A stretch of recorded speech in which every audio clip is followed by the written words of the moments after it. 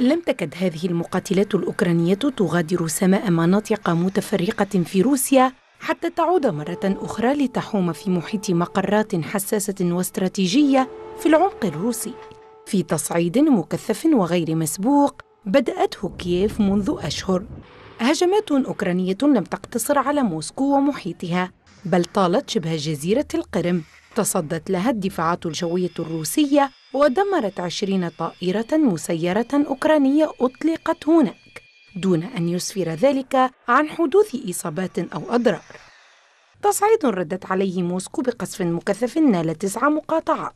قدرت وزارة الدفاع الأوكرانية عدد الهجمات فيه بإحدى وثلاثين هجمة خلال الأربع والعشرين ساعة الماضية وأسفرت عن وقوع قتلى وجرحى خاصة في منطقة دونيتسك. وأمام ذلك قررت الإدارة العسكرية في خاركييف إجلاء قرابة 12 ألف من سكان المنطقة في أقصى شرق المقاطعة.